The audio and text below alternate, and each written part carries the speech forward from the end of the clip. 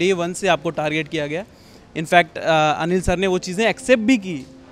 Last weekend के बार पे कि सना आई नो एंड आई तब मुझे जाके ऐसा लगा हश अब हो गया क्या? लेकिन खुद को इतना स्ट्रांग कैसे रखा सना? और आखिरी में आप ट्रॉफी भी जीत के आ गई और इतना कॉन्फिडेंस मैं देख रहा था आई वाज लाइक यार लड़की को कितना टारगेट किया जा रहा है?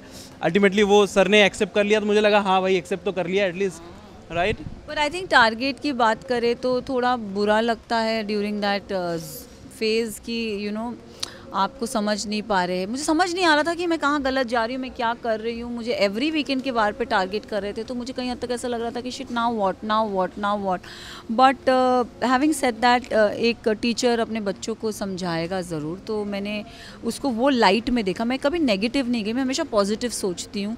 कोई भी सिचुएशन हो, मैं ये सोचती हूँ कि मैं इसको पॉजिटिवली कैसे लूँ। I don't see the bad light तो आई थिंक ये मुझे हेल्प किया throughout the journey of Bigg Boss मैंने बहुत स्ट्रांगली फर्मली और फियर्सली अपनी चीज़ें की है। मेरी लड़ाई में भी मैं खुद लड़ी हूँ। मुझे नहीं चाहिए कोई मेरे लिए बोले या कोई भी हो whether it's a boy or it's a girl मैं खुद लड़ी हूँ। अपने बलबूते पे लड़ी हूँ।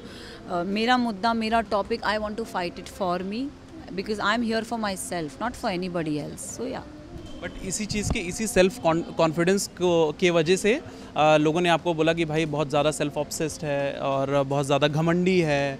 आ, नागिन भी बोला गया आपको घर के घर के अंदर। नागिन तो मैंने खुद बोला क्योंकि वो मुझे छिपकली बोल रहे थे I don't like lizards to be very honest I don't like lizard मुझे छिपकली नहीं पसंद तो मैंने कहा आप मुझे नागिन बोल दो I will still take it तो मैं मैंने नागिन तो मैंने अपने आप को बोला बट स्टिल यू नो बार बार उसको नागिन बोलना नागिन जैसी आँखें नीचे रख तू तो छिपकली है तू मेंढक है, तू ये है, तू वो है।